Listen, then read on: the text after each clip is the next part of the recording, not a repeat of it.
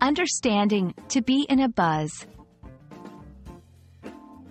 Hello, everyone. Welcome back to our channel.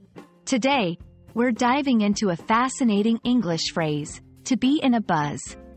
This phrase is often heard in English conversations, and understanding it can really enrich your language skills. So, let's get buzzing into our explanation. To be in a buzz means to be in a state of excitement or activity. It's like being in the middle of a bustling, lively situation. This phrase likely originates from the sound bees make when they're active, a buzzing sound. Just like bees in a hive, when people are abuzz, there's a lot of energy and movement. To better understand, to be in a buzz, let's look at some examples. 1. Before a concert, the backstage area is often in a buzz with musicians preparing.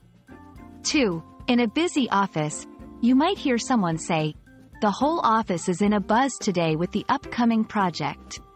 These examples show how the phrase is used to describe places full of energy and activity. Some learners confuse to be in a buzz with being busy. While similar, being in a buzz emphasizes the energetic atmosphere, not just the fact of being busy. It's more about the vibe of a place or situation, rather than just individual busyness. Now, let's practice using this phrase. Try saying, the city center is always in a buzz during the holiday season. Or, I love working in environments that are in a buzz, it's so motivating. Using it in your speech will help you remember and understand it better. That's all for today's lesson on to be in a buzz. We hope this video has made the phrase clearer and that you're now more confident in using it in your conversations.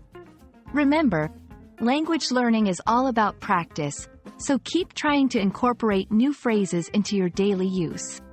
See you in our next video, and keep buzzing with English.